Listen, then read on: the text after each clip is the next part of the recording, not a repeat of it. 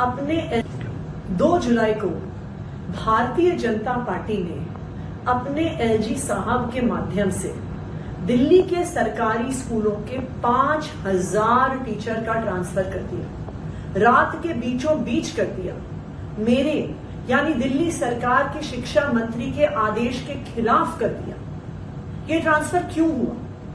ये पाँच हज़ार टीचर्स का ट्रांसफ़र इसलिए हुआ क्योंकि ये वो टीचर हैं जिन्होंने पिछले दस साल में अरविंद केजरीवाल जी की सरकार के साथ दिल्ली के सरकारी स्कूलों का काया पलट किया है।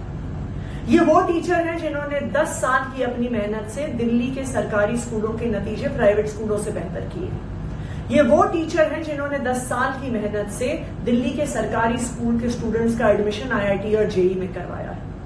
तो जो टीचर 10 साल से अपने अपने स्कूलों में मेहनत कर रहे थे अरविंद केजरीवाल जी की सरकार के साथ लग के मेहनत कर रहे थे, उन पाँच हज़ार टीचरों का भारतीय जनता पार्टी ने अपने एलजी साहब के माध्यम से रातों रात ट्रांसफ़र करा दिया। लेकिन जिस दिन ये ऑर्डर आया था, मैंने आप लोगों को ये वादा किया था, दिल्ली के लोगों को वादा किया था माता पिता को वादा किया था, टीचरों को वादा किया था कि अरविंद केजरीवाल की सरकार दिल्ली के स्कूलों को कोई नुकसान नहीं होने देगी।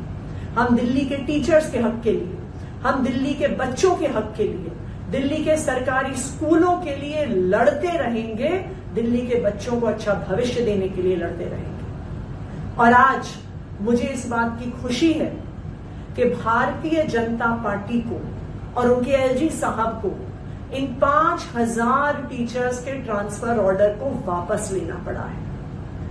ये ना सिर्फ़ दिल्ली के शिक्षकों की जीत है, पेरेंट्स की जीत है, ये दिल्ली वालों की जीत है।